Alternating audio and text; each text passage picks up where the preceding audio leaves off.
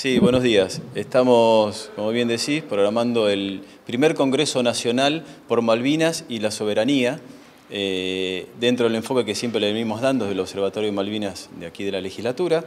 eh, los recursos naturales, la Antártida, la plataforma continental. El objetivo central es poder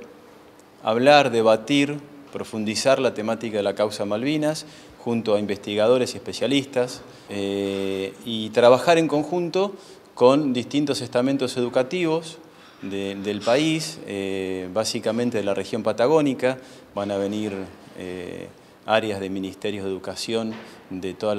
las provincias patagónicas, el acompañamiento del Ministerio de Educación de la Nación, también con el programa Educación y Memoria, la Universidad Nacional de Lanús, con, con el programa que tienen dentro de su observatorio también Malvinas, o sea, realmente vamos a contar con especialistas, académicos, investigadores de gran trayectoria en la temática Malvinas y especialmente en el área de educación, que como venimos trabajando desde Río Negro y justamente siendo la provincia pionera también dentro de la ley que tiene de la currícula educativa, ver de debatir,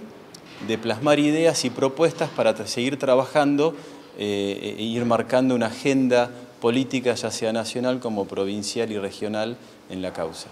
Sí, realmente es un orgullo y bueno, es un fruto al, trabajo que venimos desarrollando desde el Observatorio de la Legislatura de la provincia,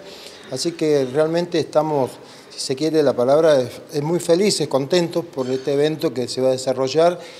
consideramos que es fundamental para seguir trabajando a futuro con la educación. Dentro del marco de Malvina 40 años, nosotros vamos a cerrar con este congreso que tiene justamente la orientación pedagógica.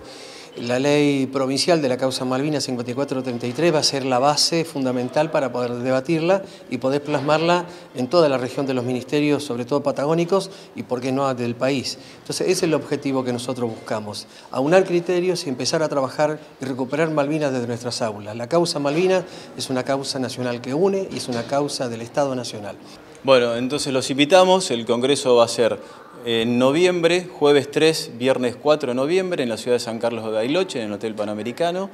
Tarea que venimos llevando adelante junto al Gobierno de la Provincia de Río Negro, el Ministerio de Gobierno, el Ministerio de, de Educación Provincial también, Legislatura, la Dirección de Veteranos de Guerra y el Observatorio.